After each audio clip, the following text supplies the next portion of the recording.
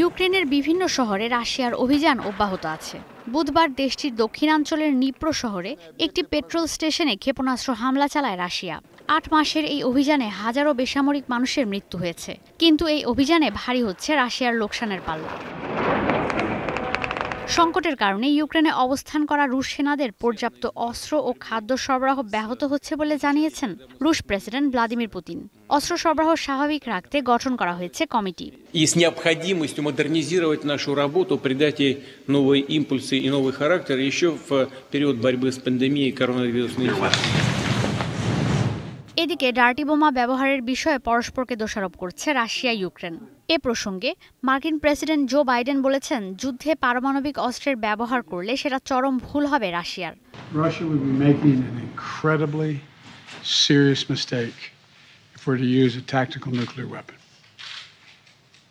I'm not guaranteeing you that it's a false flag operation yet. Don't know. But uh, it would be a serious, serious mistake.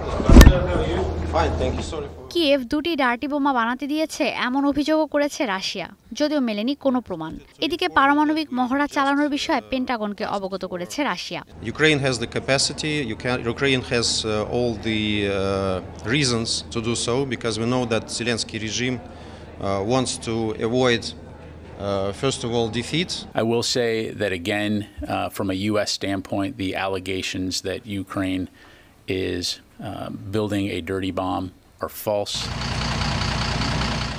ইউক্রেনের জ্বালানি কেন্দ্রগুলোতে Russia হামলা চালানোয় শীত মৌসুম নিয়ে বেশ শঙ্কায় ইউক্রেন সরকার রুশ হামলা শুরুর পর বহু মানুষ দেশ ছেড়ে অন্য দেশে আশ্রয় নিয়েছেন কিয়েভের শরণার্থীদের দেশে শীতকালে ফিরতে নিষেধ করেছেন দেশটির সরকার সেই সাথে দেশের জন্য নিরন্তর সংগ্রাম করে যাওয়া নাগরিকদের ধন্যবাদ জানিয়েছেন জেলনেস্কি хто допомагає нам боротися за свободу.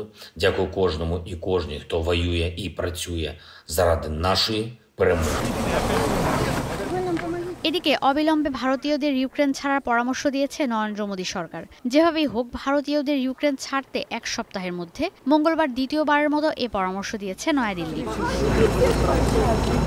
ইশিতা ব্রহ্ম, এখন বিশ্ব।